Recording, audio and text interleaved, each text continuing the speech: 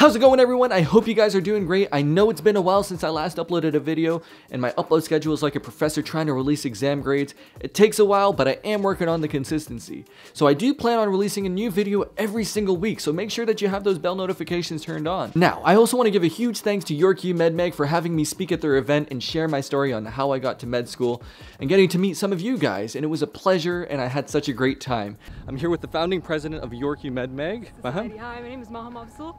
Go to York University, second year biomedical student. Happy to have Tahir here today. Yeah. And for those who are new to the channel, welcome. Without further ado, let's jump into this video. As a student and a lifelong learner, ensuring that you are learning content as opposed to only memorizing it and having efficient studying strategies is such an important skill to have. But before I go into my tips, I want to give you some Teaching Theory 101. So anytime a teacher is designing a lesson plan, they go through the three P's of lesson planning.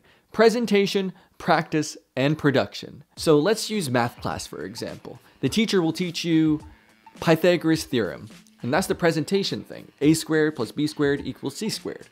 And then for the practice stage, maybe they might go through some problems of finding the hypotenuse together, and then you're supposed to do it, and then the teacher checks whether you got it right or not. And then for the production stage, you're not allowed to have any source of information in front of you, but using your own brain. So that could be a test. Teachers follow this strategy up until university where somehow they magically drop the practice stage and they focus on the presentation and production, which is understandable because it's almost impossible for a teacher to monitor the progress of maybe 2,000 students in a class. Not only that, but it's also important for a student to develop as an academic and be able to learn how to learn material on their own. Which is why I decided to modify the three P's to a self-studying approach, which I call IMU. Who are you? You. No, not me, you. Yes, I am you. Which stands for information, memorization, and using your own brain. Creative.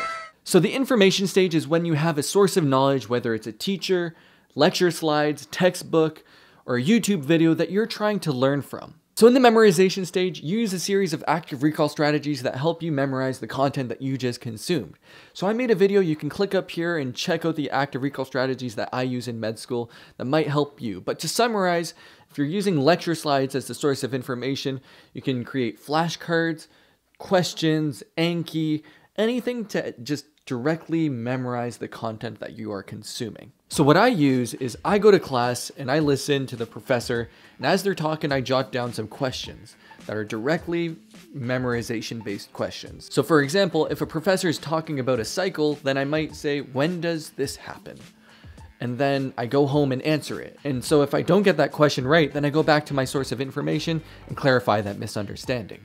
In the using your brain stage, this is where you take the content that you just memorized and put your own spin to it.